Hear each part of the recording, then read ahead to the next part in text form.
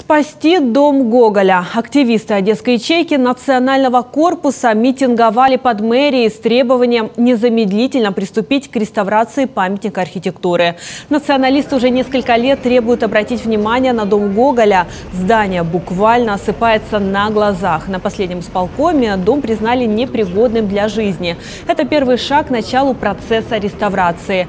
Однако далее, пока дело не пошло, озвученные инициативы относительно консервации дома Гоголя категорически не устраивают активистов.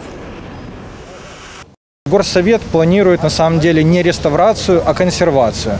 Данная ситуация нас абсолютно не устраивает, именно поэтому мы сегодня э, пришли к мэрии, чтобы заявить, что мы требуем именно немедленной реставрации, потому что консервация это все э, политическая история во время выборов, которая на самом деле никак не изменит ситуацию. Если взять вообще ситуацию по улице Гоголя, огромное количество памятников архитектуры находятся ну, в упадническом состоянии. Вот. А это визитная карточка нашего города, это туристическая туристический центр, поэтому мы сегодня проводим эту акцию.